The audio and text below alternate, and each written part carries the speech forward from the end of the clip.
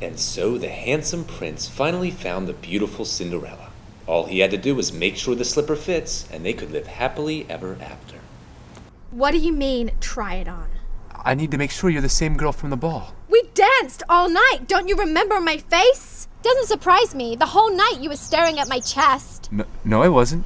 Really? What's my name? I don't remember. So you don't remember what I look like and you don't remember my name. Real charming, Prince. Real charming. Please, just try it on. Fine. It fits. Kiss me. Are you kidding? After you made me drive home in a pumpkin? I couldn't leave. It was only midnight. The party was just getting started. So your friends are more important than me? Please, forgive me. I can rescue you from this wretched existence.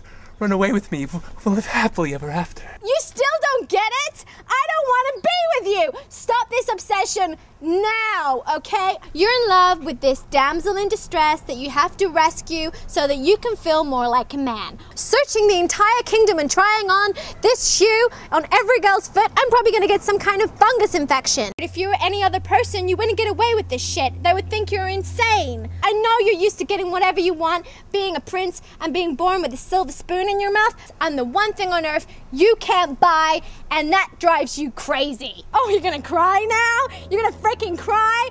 I would rather stay here with my ugly stepsisters and clean up shit than be with you. oh my god.